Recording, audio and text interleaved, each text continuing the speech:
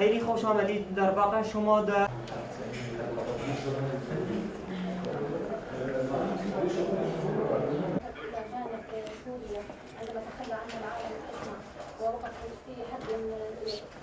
این خاک تقدیم کرده و در واقع شهدای ایران خون شهدای ایران با خون شهدای سوریه در, در این سرزمین آمیخته شده است. كان أهمها تعزيز التعاون والعلاقات بين توطيد العلاقات بين المجلسين والبلدين آه، الشقيقين با تبادل تجربات. وأؤكد آه، في هذا الوقت بالتحديد وهذا ضرورة التنسيق تو این شرایط جهانی آه، دوست دارم بر, بر اهمیت هماهنگی میان دو مجلس. قوم عزیز سوریه و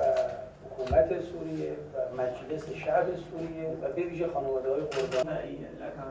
زملای سید علیزاده سید راستی جعفر راستی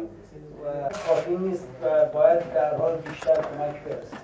وحقيقة هذه المساعدات يعني ليست كافية آمدن و محمول آقای خوبی رو حساب کردن خوشحالیم وحقيقة معاونة للسفير که اون زمان صدای چکمه های تروریست ها تا مزه آقای دکتر بشار اسد در دیدار با این هیئت پارلمانی عربی که اتحادیه پارلمان های عرب که اومده بودند در دمشق